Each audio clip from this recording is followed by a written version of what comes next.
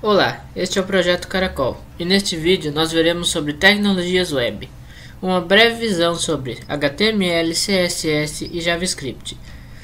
Essas três tecnologias que estamos mencionando aqui são utilizadas pelo nosso navegador de internet para exibir as páginas. Então, conhecer um pouco sobre elas vai nos ajudar, principalmente na questão do SCADABR, porque o SCADABR também é acessível através do navegador e se utiliza dessas tecnologias para funcionar. Nosso objetivo com este vídeo não é criar uma documentação ou uma explicação completa sobre cada uma dessas tecnologias, mas apenas informar aquilo que é essencial saber sobre elas, porque nos próximos vídeos veremos alguns códigos que serão escritos nessas linguagens HTML, CSS e JavaScript e será um pouco mais fácil compreender esses códigos e saber o que está acontecendo nos próximos vídeos se a gente tiver uma visão genérica, ao menos, dessas três tecnologias. Então vamos lá. Bem, a interface do SCADA-BR funciona através do navegador, utilizando-se de tecnologias específicas das páginas de internet. Dentre essas tecnologias, iremos ver três muito importantes, que são o HTML, o CSS e o JavaScript. HTML O HTML é uma linguagem de marcação, então o HTML ele se utiliza de marcações para criar os elementos de uma página na internet. A maioria das páginas da internet utiliza HTML. O HTML é aquela linguagem que vai criar de, realmente os elementos de uma página. Então, botões, imagens, textos e etc. Tudo isso que você vê numa página de internet provavelmente foi criado através de marcações HTML. O HTML é a linguagem que cria o esqueleto da página, por assim dizer. A versão mais recente do HTML é o HTML5. Ela traz mais funções nativas para as páginas, sem depender de programas de terceiros, que são os chamados plugins. O que isso, o que isso significa? Antigamente, os navegadores de internet, até por uma pobreza do, do padrão HTML, antigamente ele não tinha tanta riqueza como tem agora nessa versão mais nova HTML5, você não conseguiria fazer muitas coisas nativamente apenas com HTML. Então, para reproduzir vídeos, áudios e etc., era necessário instalar programas de terceiros para rodar junto com o navegador, como por exemplo Adobe Flash, apenas para exibir um áudio, para exibir um vídeo, escutar um áudio. Hoje em dia o HTML5 ele já incorporou essa parte de áudio, vídeo e muito mais. Então você consegue fazer muito mais coisas usando o HTML5 e sem necessitar instalar programas de terceiros. Porém, navegadores antigos não suportam recursos do HTML5. Um exemplo de navegador que não suporta plenamente todos os recursos do HTML5 é o Internet Explorer 8. Marcações HTML. Cada elemento em HTML é definido por uma marcação, que também é chamada de tag HTML. Nós não vamos utilizar tanto a palavra tag HTML, apesar de ser bastante comum essa, essa nomenclatura, para não confundir com as tags do Conf 700. Então vamos dar preferência para a palavra marcação mesmo. As marcações HTML seguem em geral o seguinte padrão: temos uma marcação chamada de marcação de abertura, que é definida pelos sinais de menor e maior, e uma marcação, marcação chamada marcação de fechamento, definida pelo sinal de menor, logo após uma barra, e o sinal de maior fechando ela. A marcação de abertura e a marcação de fechamento devem ser definidas por uma palavra dentro delas, Aqui nós estamos utilizando a palavra elemento, mas na verdade existem palavras padronizadas para cada elemento, por exemplo, botões, imagens e etc. E dentro dessas marcações nós podemos colocar algum tipo de conteúdo. Se a gente fizesse uma marcação de texto, por exemplo, nós colocaríamos aqui o texto que queremos realmente exibir na página. E as marcações HTML, além deste padrão, elas podem ainda ter alguns atributos. Aqui temos um exemplo de tudo isso que acabamos de falar. Essa aqui é uma marcação button, que é utilizada para gerar botões em HTML. Então temos aqui a marcação de abertura, button, temos o conteúdo dela, que vai ser o texto que o navegador vai colocar dentro desse botão. Então o texto é um botão em HTML. E temos a marcação de fechamento button também. Aqui o navegador vai entender que, que o elemento começa aqui nessa marcação, tem esse conteúdo e termina aqui. Nós poderíamos também ter marca marcações nesse estilo aqui. Aqui temos uma marcação input, que geralmente é utilizada para gerar entradas de formulário no seu, na sua página de internet. E aqui nós temos os atributos, que são palavras, que logo depois vem com o sinal de igual, e dentro de, de aspas devemos definir os valores dessas palavras. Aqui esse atributo type, ele serve para definir o tipo de entrada de formulário. Então, criamos uma entrada de formulário e através desse atributo definimos que o type, né, o tipo, é igual a text, que significa entrada de texto. Poderia ser entrada numérica, poderia ser uma caixa de seleção. Existem vários tipos possíveis para esse mar, para essa marcação de elemento input. Temos também o atributo velo, que é valor, e ele é igual a insira um nome. Esse valor Neste caso da entrada de formulário de texto, ele vai ser um texto que vai estar por padrão já dentro dessa entrada de formulário, que você poderá alterar depois. Aqui temos um exemplo na prática de como o navegador de internet exibe esse código e transforma ele em elementos gráficos. Então aqui temos novamente a marcação button com o nosso botão HTML e temos uma marcação P, essa marcação P é utilizada para gerar parágrafos de texto. Então, se você quiser gerar um parágrafo qualquer de texto, você coloca esse texto dentro de uma marcação P. Aqui temos, nesse lado, como o Google Chrome e o Mozilla Firefox, dois navegadores, exibiram esse código e transformaram ele em elementos. Você pode ver que em ambos o botão foi transformado de fato em um botão e o parágrafo de texto foi transformado em texto. Porém, você pode também perceber que o estilo do botão e do parágrafo de texto, até mesmo a fonte de ambos, difere de navegador para navegador. Isto porque o HTML, por si só, ele não define o estilo dos elementos que ele cria. Para definir os estilos, nós vamos utilizar outra linguagem, que é o CSS, mas isso nós veremos logo em seguida. Agora vamos para um exemplo prático para ver como realmente funciona o HTML na prática. Temos aqui um código HTML de exemplo que vamos utilizar. E temos o um navegador exibindo essa mesma página com o código HTML aqui. Então podemos ver que, antes de tudo, para criar um elemento HTML, nós devemos utilizar uma marcação HTML, que começa aqui e termina aqui. E dentro dela vão todos os elementos da minha página. Uma página de internet geralmente tem duas seções principais a seção head, que significa cabeça em inglês, e a seção body, que significa corpo. Na seção head, nós vamos colocar elementos que servem geralmente para dar informações sobre a página ou fazer a página funcionar, mas que não necessariamente vão ser exibidos como elementos gráficos. Então aqui utilizamos uma, marca, uma marcação title, que é utilizada para especificar o título que a nossa página vai ter, e uma marcação meta, que serve para várias coisas, mas aqui no nosso caso estamos utilizando para definir o char set, que é a codificação de caracteres. E aqui terminamos a seção head. Na seção body, aí sim teremos os nossos elementos. Temos aqui um botão, novamente aquela marcação button, P, um parágrafo em HTML, e a marcação input como entrada de texto que a gente já viu. Agora se formos até o navegador, podemos ver que esse código foi carregado e a marcação button foi transformada em um botão. Podemos clicar que ele ainda não faz nada, ele é só o botão. Temos a marcação P que gerou esse parágrafo de texto. E temos a marcação input, vou até aumentar um pouco aqui para ficar mais fácil de ver. A marcação input que gerou essa entrada de formulário que temos aqui.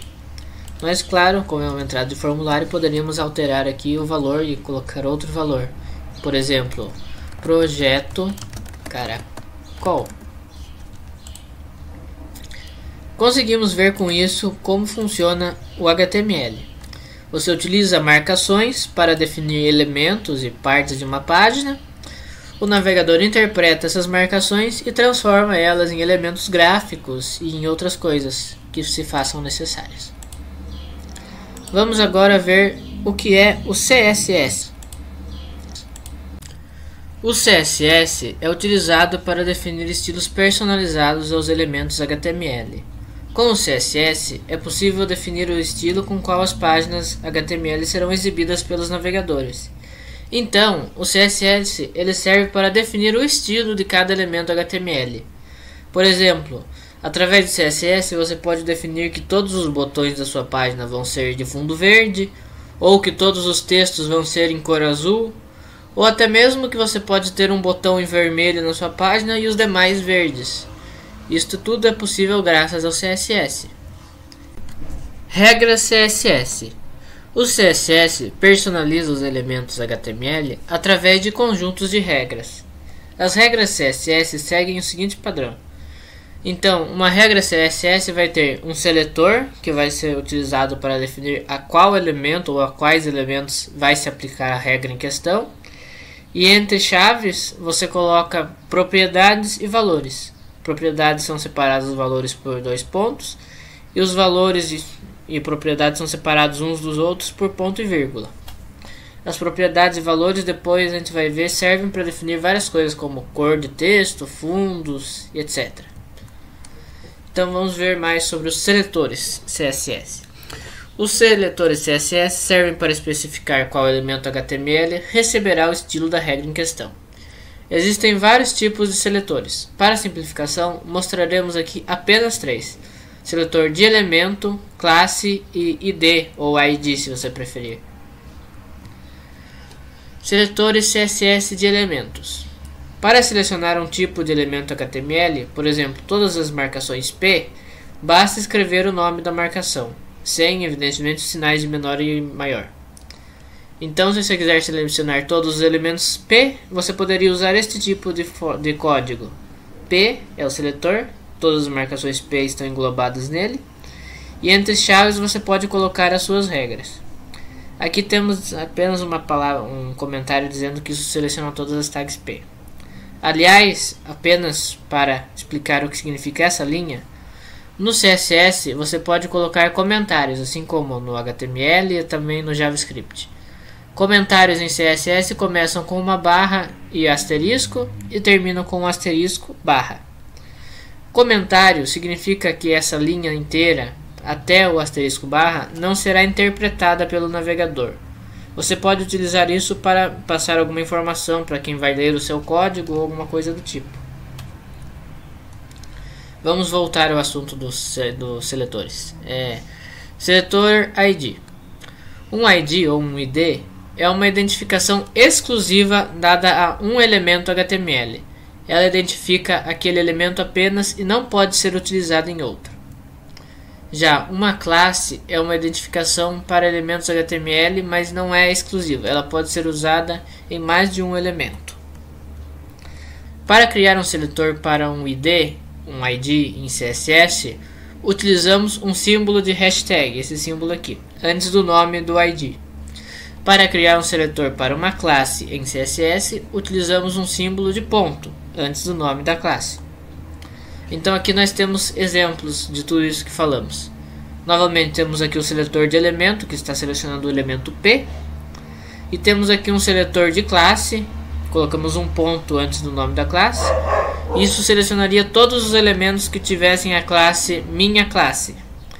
Lembre-se que no CSS maiúsculas e minúsculas fazem diferença. Então, se esse C maiúsculo aqui fosse minúsculo em algum lugar, já não funcionaria a regra corretamente. E aqui temos um seletor de elemento. Isto de ID, né? ID. Isso selecionaria todos os elementos, ou no caso apenas um, né? Porque só pode ser utilizado no elemento. Selecionaria o elemento cujo ID é caracol. Agora vamos ver as propriedades CSS. As propriedades CSS definem uma enorme gama de opções: cor de textos, tamanho de objetos, formatos, alinhamentos, posição dos objetos. Para cada propriedade podemos especificar valores. Por exemplo, aqui temos uma propriedade color, que significa cor em inglês, dois pontos, blue. Então estamos definindo que a cor de um elemento será blue, que é azul em inglês.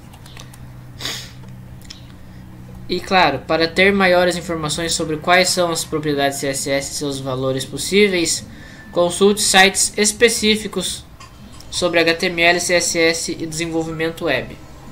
Nós não podemos simplesmente colocar aqui todas as propriedades, porque realmente são muitas propriedades que o CSS possui, tanto para alinhamento, formatação. Então, não seria razoável tentar resumir tudo isso aqui. Procurem sites específicos para ter uma noção melhor sobre isso. Vamos dar um exemplo prático de CSS.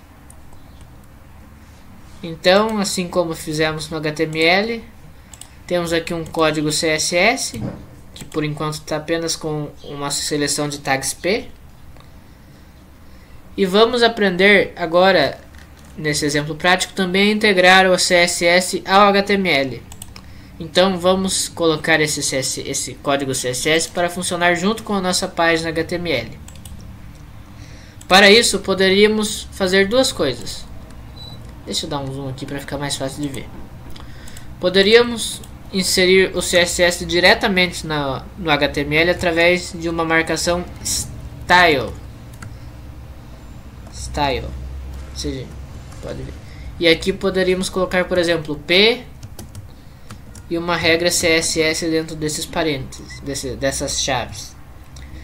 Porém, essa não é uma prática muito recomendada porque tende a deixar o código HTML muito longo por ter de incluir também os códigos CSS dentro dele. Então nós vamos fazer o seguinte, nós vamos apenas linkar, associar, anexar o arquivo CSS dentro desse arquivo HTML.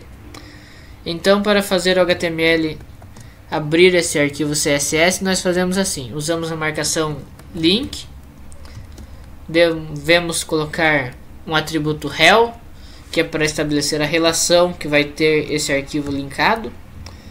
E devemos colocar o valor desse atributo como style sheet, que é folha de estilos em inglês. E devemos colocar outro atributo chamado href para indicar onde está o arquivo que queremos queremos linkar. Aqui no caso será exemplo CSS. Como estão os dois arquivos na mesma pasta, eu não vou precisar colocar o caminho completo do arquivo. Se tivessem pastas diferentes ou até na internet, eu deveria colocar o caminho completo do arquivo. Então, vamos colocar aqui exemplo.css para anexar este arquivo dentro deste aqui, para linkar os dois arquivos. Agora sim, podemos colocar uma regra. Temos aqui um parágrafo T, é, parágrafo P, eu vou criar aqui uma regra colocando que a cor desse texto vai ser azul mesmo. Color blue em inglês.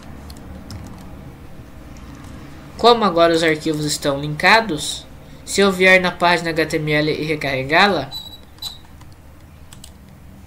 já vemos que a regra CSS foi aplicada com sucesso e agora a cor do texto é azul. Vamos ver mais algumas coisas do CSS.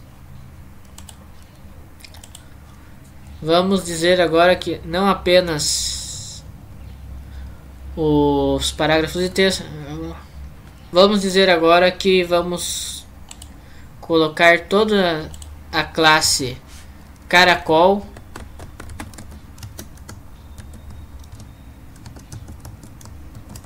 com um texto vermelho. Porém, Onde vai estar essa classe caracol? Agora sim, devemos fazer o seguinte.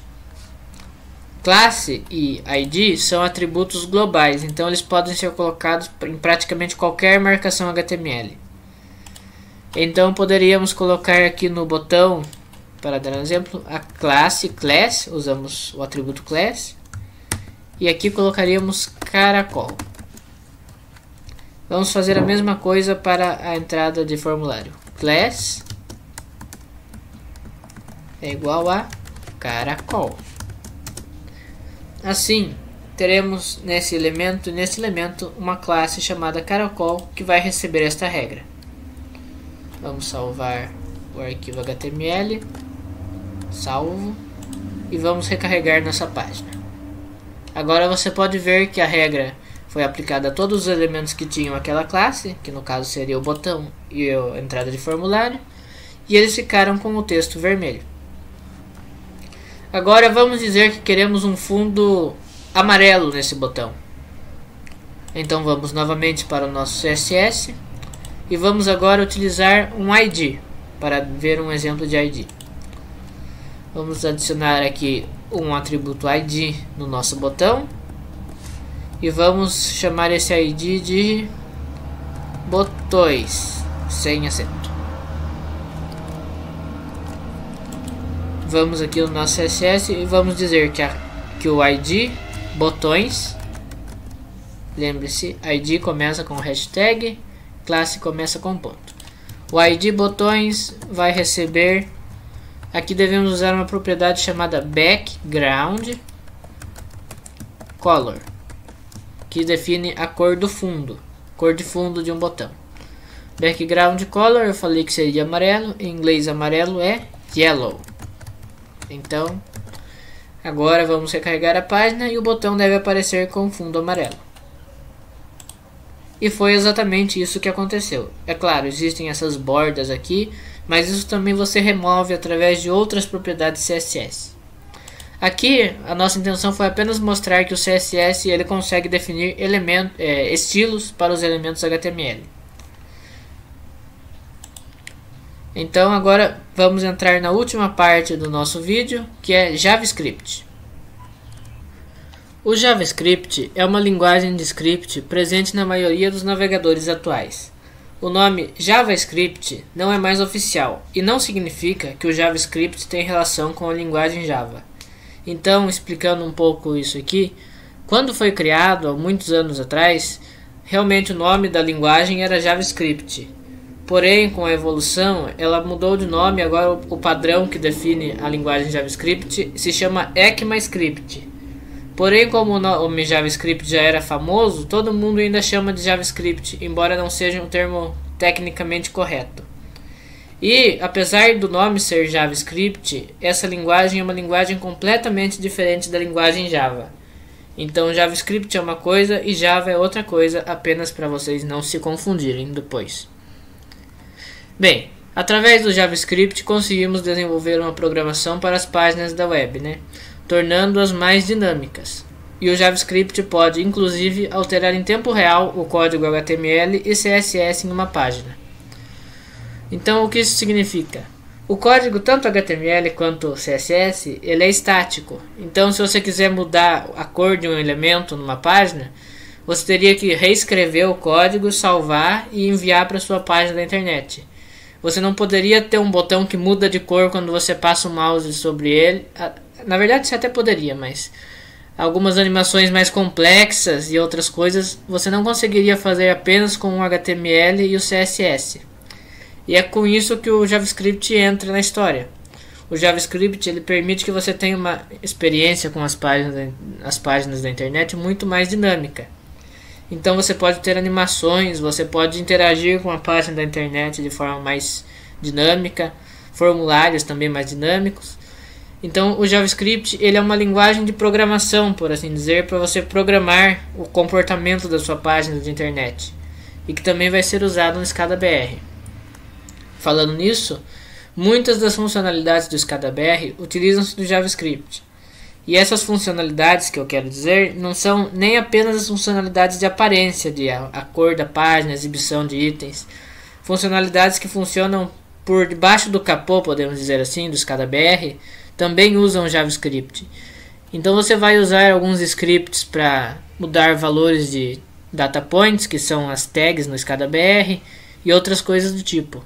Isso a gente vai ver mais pra frente, mas é só para introduzir já vocês no assunto. Então vamos ver o que é a linguagem JavaScript, começando pelas variáveis. As variáveis servem para armazenar valores durante a execução do script. Para criar uma variável em JavaScript, usamos a palavra especial var.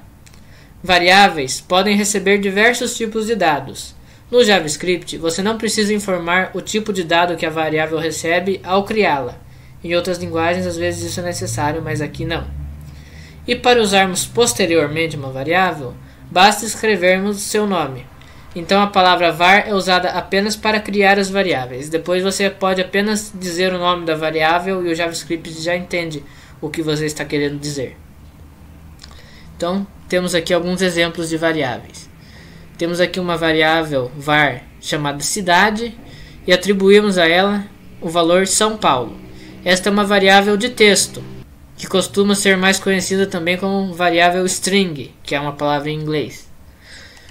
As variáveis string, as variáveis de texto, elas obrigatoriamente têm que estar em JavaScript entre aspas.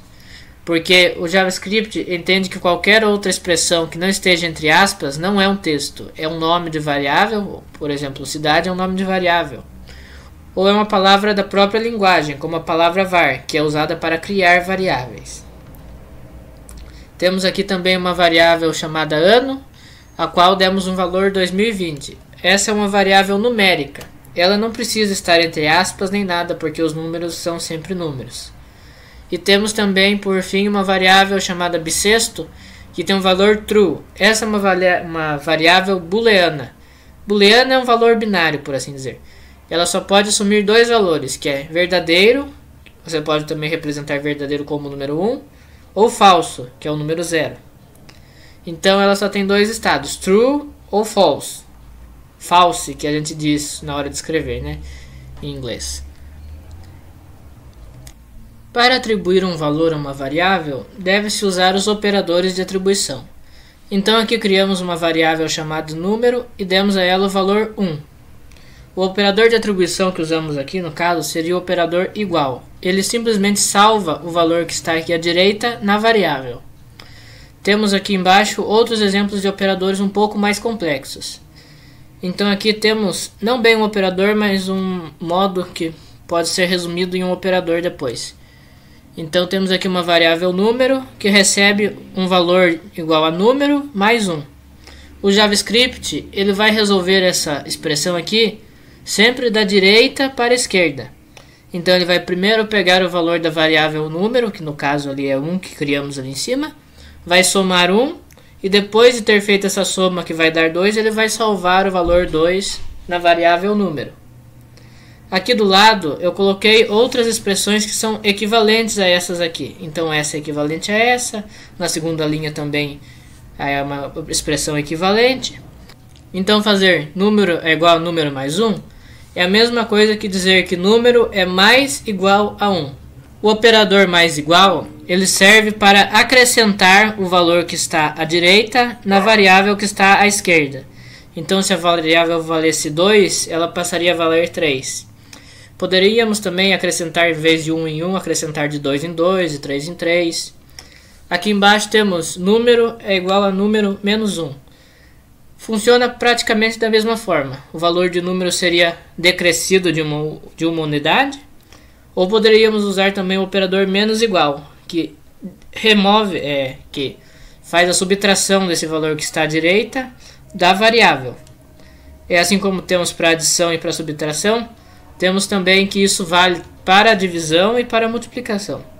Então aqui temos número vezes 2, multiplicação em JavaScript é o símbolo de asterisco, e temos também com a divisão, que em JavaScript é o símbolo da barra. Então temos operadores asterisco igual, que é para multiplicação, e barra igual, que é para divisão. Então esse número, da, esse valor da variável seria multiplicado por 2 e aqui o valor que está na variável seria dividido por 2.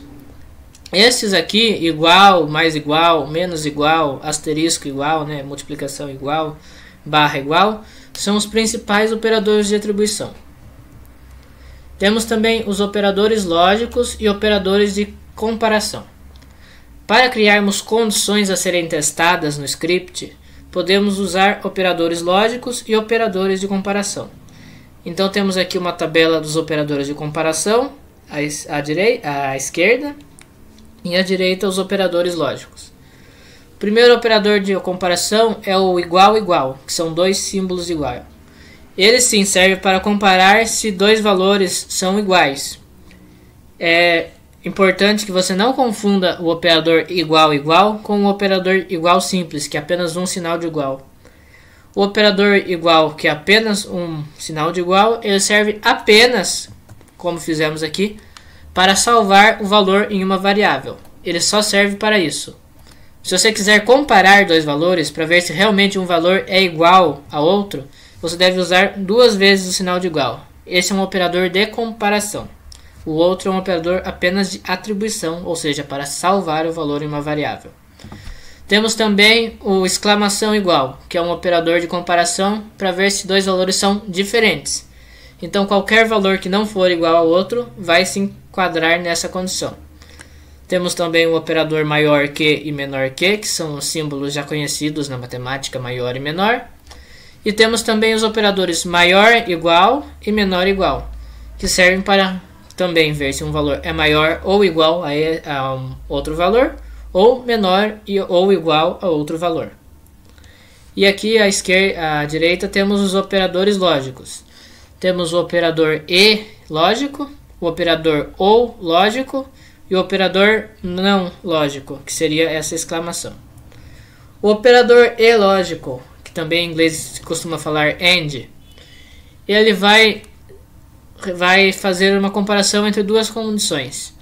Se a primeira condição for verdadeira e a segunda for verdadeira, ou seja, apenas se as duas forem verdadeiras, o resultado desta operação vai ser também verdadeiro.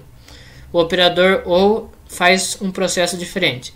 Se a primeira ou a segunda condição forem verdadeiras, ele vai retornar verdadeiro. E o operador não lógico, ele serve para inverter o resultado de qualquer expressão.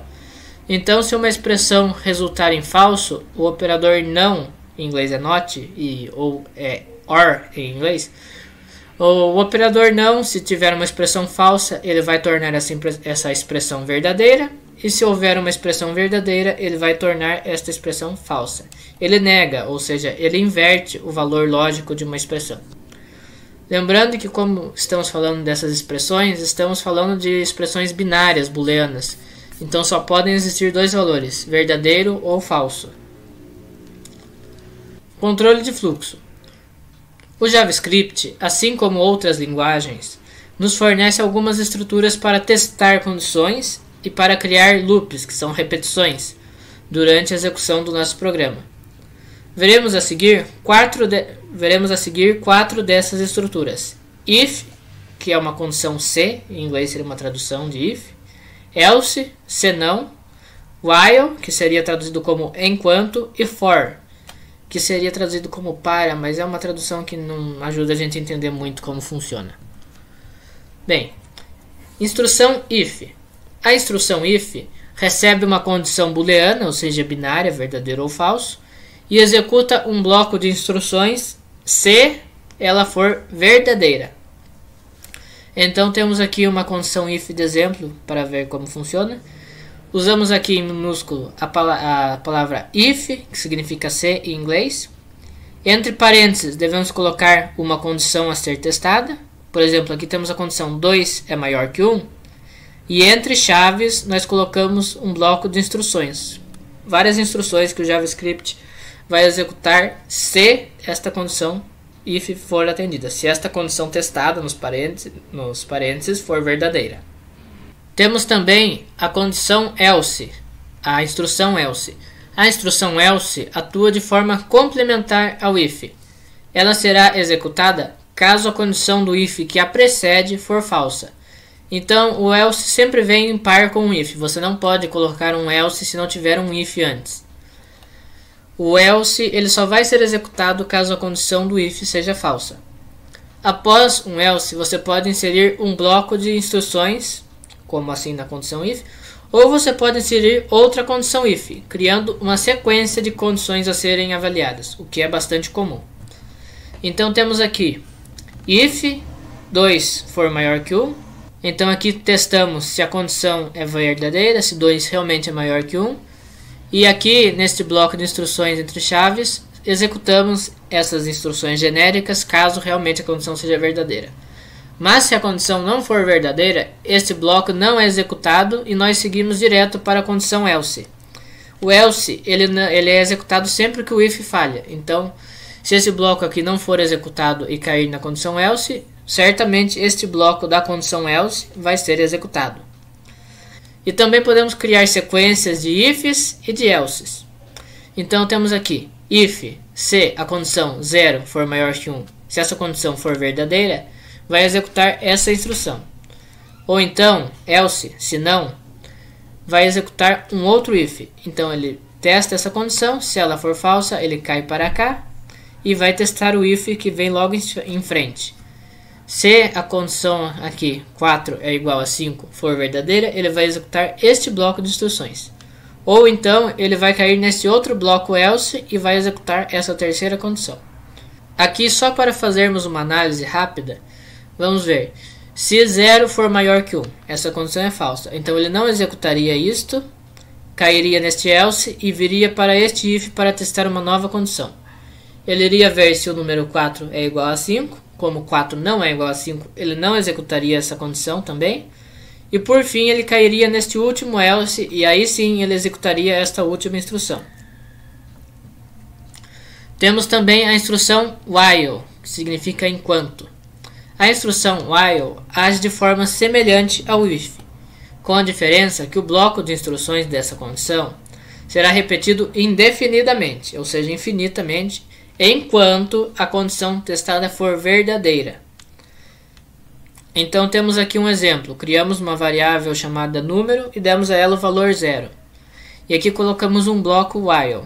Novamente a palavra while, entre parênteses a condição e entre chaves um bloco de instruções a ser executado. Todas as condições seguem mais ou menos o mesmo padrão na hora de você escrevê-las.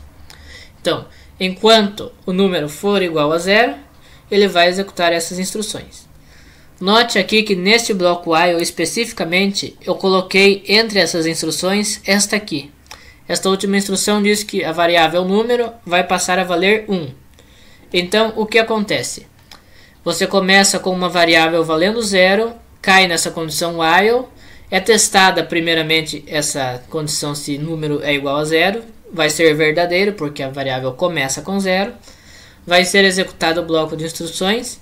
Só que nesse bloco, como nós estamos alterando o valor da variável, vai ser testado de novo essa condição while para ver se o número continua sendo zero. E como o número já não é mais zero, é 1, um, essa condição while não vai ser mais atendida e o código JavaScript vai ser pulado. Então a expressão, a condição, a instrução while vai deixar de ser executada e vai ser executado o que vier depois dela no código. Por fim, temos a instrução, a instrução for. A condição for também serve para gerar repetições de um bloco de instruções. A diferença entre for e while é que geralmente a instrução for gera uma repetição por um número finito e determinado de vezes. Então, quando nós usamos for, nós geralmente, quer, nós geralmente queremos que seja executado uma instrução por 3, 4, 5 vezes, mas nós sabemos quantas vezes queremos executar essa instrução. O while nós usamos muito mais com, com muito mais frequência para instruções que nem sempre nós sabemos quantas vezes elas serão executadas, se é um número determinado ou se é um número que vai depender de alguma outra condição. Temos aqui o jeito clássico que geralmente se usa para criar uma instrução for. Então usamos aqui a palavra for, entre parênteses devemos colocar três parâmetros. O primeiro é criar uma variável para ser utilizada nesse laço for. Geralmente se usa a letra i para essa variável, mas não é proibido que você utilize outro nome para a variável. Criamos uma variável i que começa com o valor zero. Dois pontos, temos o segundo parâmetro, que é qual o valor que a variável tem que ter para continuar essa repetição para continuar essa repetição, então a repetição vai continuar enquanto a variável i for menor que 10. E por último, temos aqui o último parâmetro, que é o incremento da variável. Então, a cada vez que essa instrução for, for repetida, na primeira vez que ela for repetida, ela vai valer zero e depois ela vai ser acrescida de uma unidade.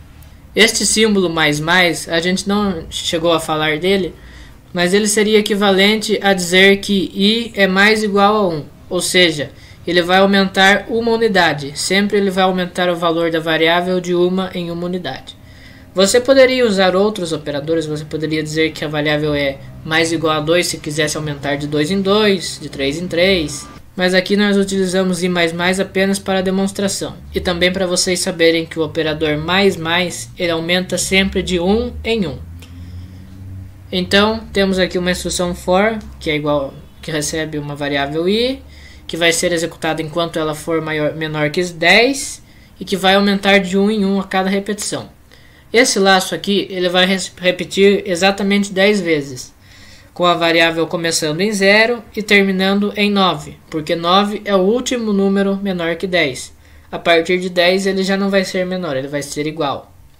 Então temos aqui uma instrução for clássica. E agora, para fixar melhor o que a gente acabou de ver, vamos para um exemplo prático de JavaScript. Então aqui no nosso exemplo temos duas variáveis. Variável cidade, que recebe o texto São Paulo, e a variável ano, que recebe o número 2020. E temos aqui uma condição if que testa esta condição que está dentro desses parênteses aqui. Então essas duas subcondições aqui vão ser incorporadas na condição if. Eu quero saber if se ano é igual a 2020 e, que é um operador lógico, cidade é igual a Rio de Janeiro. Esse aqui é um texto. Se o ano for igual a de 2020 e a cidade for igual ao Rio de Janeiro, vai ser executada essa instrução alert. Ela geralmente ela mostra uma caixa, um texto de alerta no seu navegador. Ele mostra uma janelinha dizendo: Estamos no Rio de Janeiro em 2020, que é o nosso texto aqui passado para a nossa instrução alert. Caso essa condição não seja verdadeira, ele vai cair nesse else e esse else vai mostrar um alert, um alerta só que com outra mensagem. A mensagem seria: Não estamos no Rio de Janeiro ou o ano não é 2020. Claro, como aqui a cidade foi colocada como São Paulo, é evidente que vai ser dado este segundo alerta aqui. Uma vez que a variável cidade não está como São Paulo na condição, mas ela está sendo testada como Rio de Janeiro. Então aqui temos apenas agora que inserir esse script no nosso código HTML. Como fazer isso? Eu vou até apagar esse link aqui com o CSS porque já não vamos ver mais sobre o CSS. Para inserir scripts, nós temos que usar a marcação script. Script. Script. Esta marcação ela serve de duas formas. Você poderia, assim como você pode no CSS, escrever um script aqui. Então, se eu quisesse var cidade é igual a São Paulo, são Paulo. Paulo. Eu poderia fazer isso dentro do próprio código HTML. Mas um jeito que ocupa menos espaço e deixa mais fácil de enxergar os arquivos porque eles ficam separados é você opa, fazer desse jeito aqui. Hoje eu não estou conseguindo escrever bem. É fazer desse jeito aqui. Você cria uma marcação script e dentro dessa marcação de abertura, você coloca um atributo src, significa source, fonte. E nesse atributo source você indica o caminho do seu arquivo de script. O nosso arquivo aqui seria o exemplo.js. E assim como fizemos no CSS, como está na mesma pasta esse arquivo, eu não preciso informar o caminho completo dele. Então eu poderia apenas dizer que script recebe um arquivo que se chama exemplo plo.js. E aqui já inserimos o nosso script dentro da nossa página HTML. Temos apenas que salvar o arquivo. E se recarregarmos a página, vamos ver que agora, primeiramente, a mensagem script, do script já foi exibida pelo navegador. Esta aqui é a tal da caixa do alert. Então o alert ele gera esta caixa aqui com a mensagem. E como a condição não foi atendida, a nossa mensagem é: não estamos no Rio de Janeiro ou o ano não é 2020. Exatamente como temos na página. Se clicarmos em OK, aí sim teremos a página sendo exibida. E você pode ver que as marcas, as, os estilos CSS também já foram apagados porque nós tiramos o arquivo CSS do nosso arquivo HTML. Vamos ver mais algumas coisas com o script. Vou dar agora um exemplo de for para vocês entenderem um pouco melhor como funciona o for. Então vamos criar um exemplo aqui. For, criamos uma variável chamada i que recebe 0 e vai ser repetida enquanto seu valor for menor que 3. E a cada repetição, o valor de i vai ser aumentado de 1. Então, i mais mais. Ah, só de curiosidade, existe também i menos menos para diminuir de 1 em 1 o valor da variável. E o que vamos executar a cada repetição dessa instrução for? Vamos executar um alert, alert, e vamos passar como parâmetro, como mensagem para ser exibida nesse alert, a própria variável i. Como eu já falei, apenas os textos têm que vir entre aspas. Então, o nome de variável, se eu colocar aqui apenas i, o JavaScript já sabe que esse é o nome de uma variável i e já vai trocar pelo valor que está na variável, que seria o número 0 na primeira vez, da segunda vez seria o número 1 e da terceira vez seria o número 2. Isto porque a contagem inicia com i igual a 0 e para quando i for, for maior ou igual a 3. Então ele vai apenas até o 2 porque 3 é igual a 3 e já que uma coisa é igual, ela não pode ser menor. Vamos salvar este arquivo e vamos recarregar nossa página para ver o JavaScript funcionando. Então, a mensagem primeiro começa em 0, a segunda repetição tem o valor 1 e a terceira repetição tem o valor 2. E logo após essa repetição já acabam as repetições e a página é carregada. Então é isso. Conseguimos ver o básico de JavaScript, CSS e HTML. Por fim, caso você queira se aprofundar um pouco mais nesses conteúdos, eu vou indicar aqui alguns sites úteis. O primeiro site é o site da MDN, que é a Mozilla Developer Network. É um site da Mozilla, que é a empresa que desenvolve o navegador da internet Firefox, com conteúdo voltado a desenvolvedores.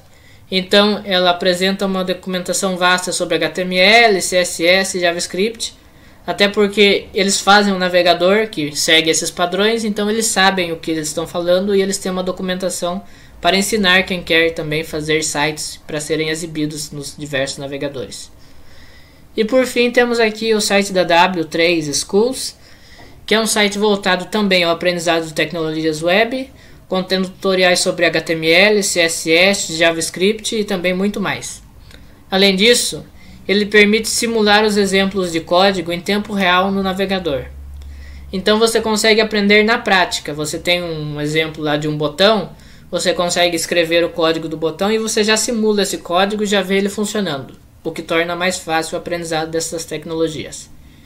Enfim, Embora não seja obrigatório e você consiga fazer o que a gente vai mostrar nos próximos vídeos sem ter um conhecimento, conhecimento tão profundo dessas tecnologias, é sempre útil que você saiba um pouco sobre isso, que vai ajudar bastante na hora de mexer com o SCADA BR.